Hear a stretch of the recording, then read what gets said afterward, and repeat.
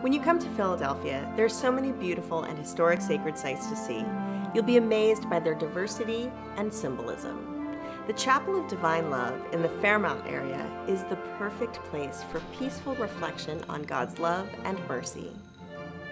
Suburban Station is a great place to explore for some of the many foods for which Philadelphia is famous.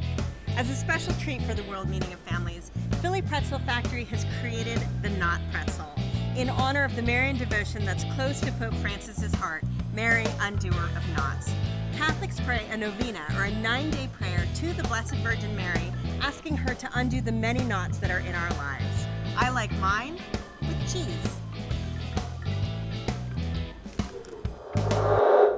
Take the 33 or 48 bus or BSL to Spring Garden, then walk a few blocks west, where, at the corner of Green and 22nd Street, in the same city where the Declaration of Independence was created and signed, is a small, unassuming convent that houses some of the most beautiful things in the entire world.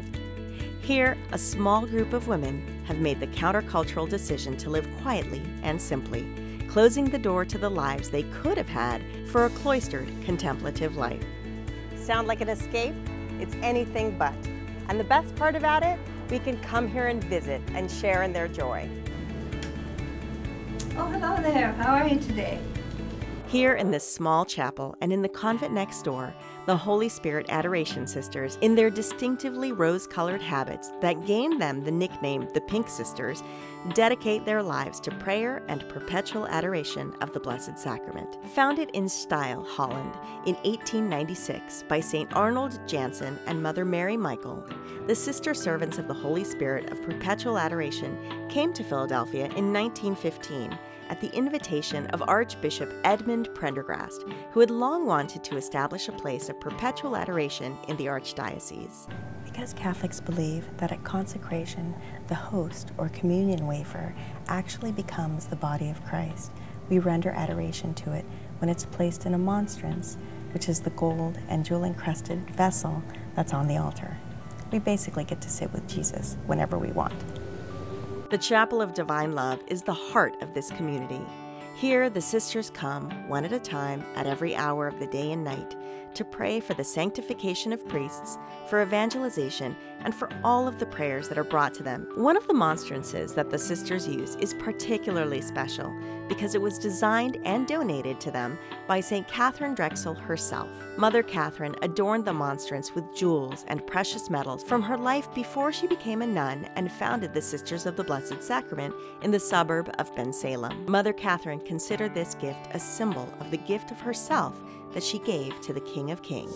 Eight times a day, the sisters are called to the chapel, where, behind the grill, a symbol of the secluded life they've chosen to live, they celebrate the Holy Mass and pray the Liturgy of the Hours in choir. Also known as the Divine Office, this is the daily prayer of the Church, marking the hours of the day, offering praise to God, and interceding for the salvation of the world. Their rose colored habits are a cheerful witness to their vocation to love and a symbol of their joy and dedication to the Holy Spirit. When they profess their final vows, the sisters receive a ring, emblematic of their vocations as brides of Christ.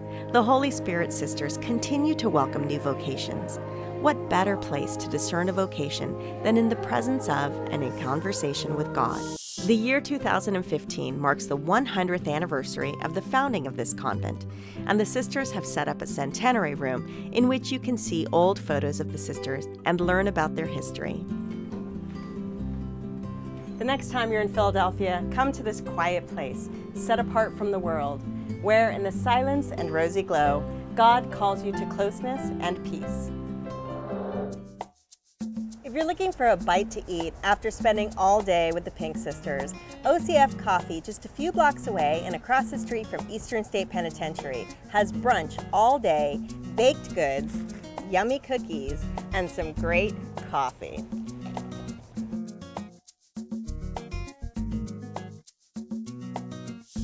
Check out all of our videos to explore the exciting history of Catholicism in Philadelphia. I'm Diana Von Glahn, the Faithful Traveler.